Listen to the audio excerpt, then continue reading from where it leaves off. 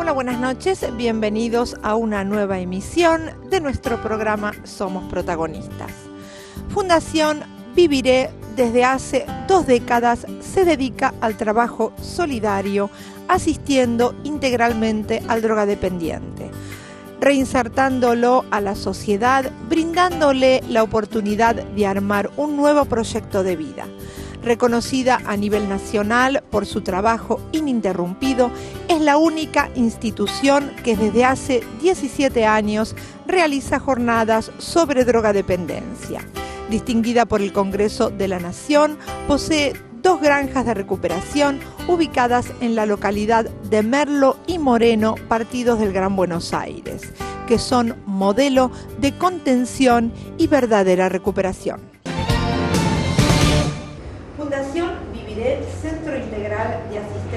Asistencia a Drogadependiente, nace en el año 1993. Vamos a hablar de su trayectoria y la actualidad con su presidente, el señor Alejandro Rosati. Alejandro, buenas noches, ¿cómo estás? Hola, ¿cómo estás? Muy bien. Eh, presidente de un lugar donde cada vez las cosas en Argentina se ponen más difíciles, ¿no? Y uno lo ve porque esto se, se traslada a la inseguridad, se traslada a los proyectos de vida que tienen los jóvenes? Sí, sí, partimos de la base de que el problema de un drogadicto no son las drogas, eh, sino todo lo que lleva a esa persona al consumo. Sí, estamos ante una problemática social. Yo siempre digo que la, drogadependencia es una sociopatía, porque en realidad es un problema social. Eh, que lleva este, a un chico al consumo, eh, dónde está la familia, eh, dónde está el Estado. Entonces creo que hay un montón de, pilares este, que son palos enjabonados, lo que era hasta hace poco instituciones válidas para el crecimiento de, cualquier adolescente. Hoy tenemos instituciones como la familia que están totalmente distorsionadas. Hoy hablamos de distintas familias cuando yo comencé a trabajar con esto había una familia, ahora hay varias familias. Claro, exactamente. Eh, bueno, la policía como institución eh, está sospechada, eh, la iglesia como institución está sospechada, es decir, el adolescente, bueno, la justicia también, el adolescente no tiene dónde, de dónde agarrarse.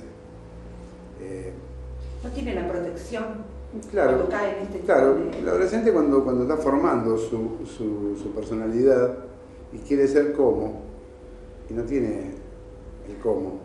Este, y tal vez a veces no hay hasta ni referente, ¿no? Ni, ni un modelo. No hay referentes, no hay referentes, eh, y los referentes son los amigos de la esquina, ¿no? que es lo que hacen que, bueno, eh, el tema del consumo, eh, digamos, cualquiera puede consumir, eh, por qué una persona se vuelve adicta. Eh, digamos, esto se, divide en lo que es consumo, abuso y adicción. ¿Sí? O sea, quiero decir con esto que una persona que consuma no necesariamente es una adicta. ¿Sí? Puede hacer eh, uso, puede ser abuso, y luego adicción. Adicción es cuando quiere dejar y no puede. Por diferentes motivos no puede. Cuando tiene la voluntad quebrada. ¿Sí? Eh, tenemos este, una droga primaria que es el alcohol, por ejemplo. Los chicos cuando hacen las, previas, ¿qué hacen? Ellos están haciendo un uso farmacológico de la sustancia porque están usando la sustancia para un fin determinado. Entonces, eso es la base de la droga dependencia. Pero acá seguimos con el estado ausente, es decir, no, no, no hay este, un control sobre eso. Sí, con estado ausente y a veces con familias ausentes. Están así, la familia eh, está en lo suyo. Hoy hasta te diría que es normal, entre comillas, eh, que un adolescente haga la previa. Si todos la hacen. ¿Entiendes? Si un cumpleaños de 15 en la casa y los padres le compran alcohol para festejar el cumpleaños. Es decir, ya está como lo que se está pasando por arriba lo que se debería profundizar hoy es normal ver un grupo de, chicos en una plaza fumando marihuana. cuando hace, bueno, cuando yo me fui mi primer este, cigarrillo de marihuana, era todo una hazaña, como Mejía, de poder fumarlo a escondidas, obviamente, pero... Este, hoy está como institucionalizado, hoy, está, ¿no? hoy cualquiera fuma y está todo bien. Es decir, hay una tolerancia social que es peligrosa. Es peligrosa. A partir de ahí es el tema, ya no te escondes, sino que lo haces abiertamente. Ah, eh, ¿no? hay desparpajo, no hay, no hay ningún tipo de inhibición. Ahora, ¿cómo actúa eh, Fundación Viviré a partir de, de toda esta problemática? ¿no? Yo tengo chicos de 13 años y personas de 61 años.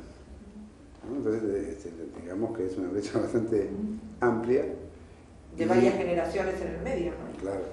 Entonces, eh, vos pensás que, bueno, esto es una comunidad eh, donde hay normas comunitarias, pero el tratamiento siempre es personalizado.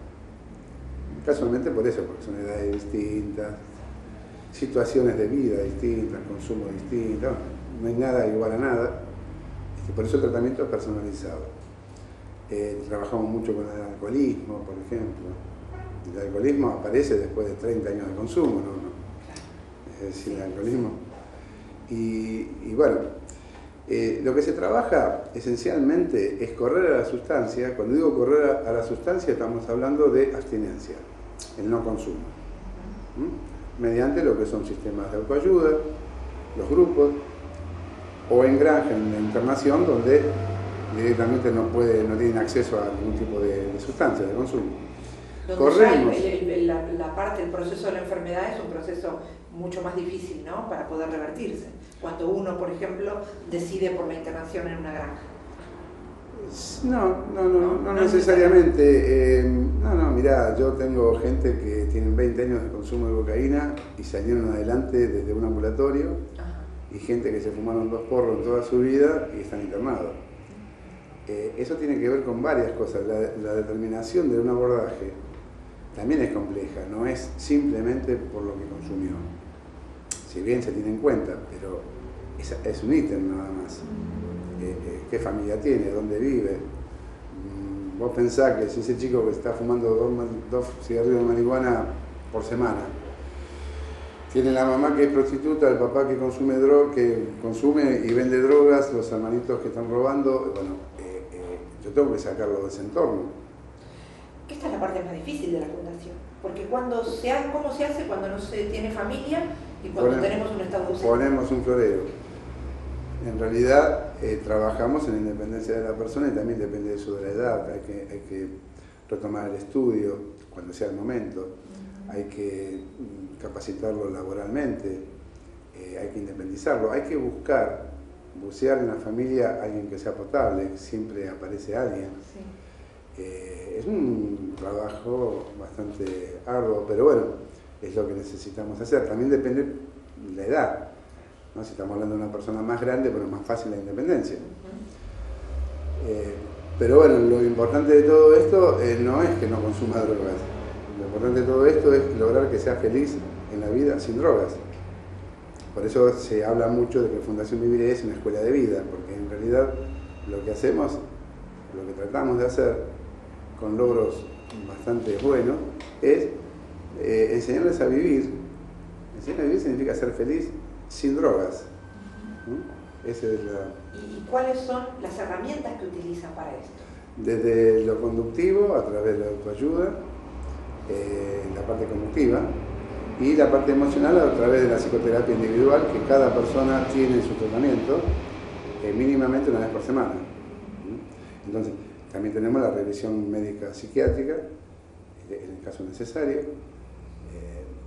Eh, o sea, tenemos todos los abordajes, porque la interdisciplina es eso, ¿no? Los diferentes abordajes puesto mirando a un solo caso. Entonces, los viernes que tenemos reunión de equipo hablamos de Juancito, ¿quién habla? Habla el operador, habla el psicólogo, habla la, sí, hablamos de diferentes, claro. Entonces las estrategias terapéuticas a seguir este, son mucho, es más difícil de equivocarse. ¿no? Es muy personalizado. Siempre es personalizado, más allá de que, de que hay normas que son comunitarias. Eh, ¿Cuáles son los resultados, eh, Alejandro?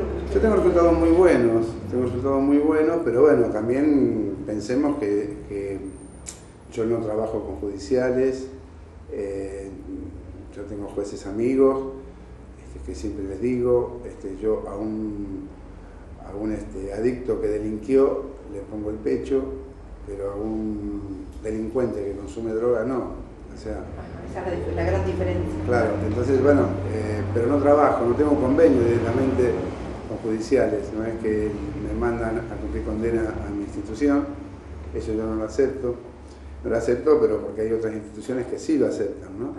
E igual que los menores, si bien tengo menores, pero siempre hay una, una admisión previa, yo tengo que rascar y ver que haya buena madera, que la persona se equivocó, pero bueno, pero quiere... Pero quiere, quiere y tiene buena madera. Entonces, en ese sentido, tengo resultados muy positivos, pero no son estadísticas nacionales. Es una fundación distinguida, ¿no? Sí, sí, en el oeste estamos, sí, sí, sí, estamos trabajando bien, en realidad siempre trabajamos bien, eh, y si bien hoy hay una gran diferencia de lo que es el adicto de hace 20 años a lo que es el adicto de hoy, la familia de hace 20 años todo distinto. pero así todo lo que trabajamos son con las armas que tenemos. Exactamente. No con lo ideal. que a veces son muy pocas, ¿no? Y a veces son pocas, pero es la realidad, es lo que hay, tenemos que trabajar con eso. Si no sería una utopía, ¿no? Claro, exactamente. Eh, Alejandro Rosati queda muchísimo más por hablar, pero bueno, no va a faltar oportunidad para que charlemos un poquito acerca de la situación actual, cómo la ven ustedes y qué es lo que pueden hacer cuando tenemos familias y estados ausentes, cuáles son las herramientas y, cómo se tiene que acercar una persona cuando está en esta situación. Sí, bueno, yo, tengo muchas, muchas consultas en la semana, este, no solamente de, gente que quiere hacer tratamiento, sino también consultas de personas, padres o madres, que bueno, están preocupados por sus hijos, por alguna situación, algo que vieron, y nosotros siempre, siempre damos respuesta. Alejandro, ante cualquier consulta, ¿a qué número se tendría que comunicar? Sí, al 4658-9902 o 4469-1629 o personalmente en Avenida de Mayo, 1705, Ramos Mejía. Muy bien, estuvimos en Fundación Viviré, Centro Integral de Asistencia a Dependiente. Alejandro Rosati, gracias por habernos recibido y gracias por el trabajo que hacen ustedes para tener cada día una sociedad mejor. Gracias a ustedes por difundirlo. Gracias, buenas noches. Fundación Viviré, Centro Integral de Asistencia al Drogadependiente. Avenida de Mayo 1705, Ramos Mejía. Teléfono 4658-9902. Obra social de relojeros, joyeros y afines de la Argentina. Valentín Gómez 3828, Capital Federal 0800 333 3420. Unión Obrera Metalúrgica Seccional La Matanza. Avenida de Mayo 2615, Ramos Mejía. Teléfono 4651 1885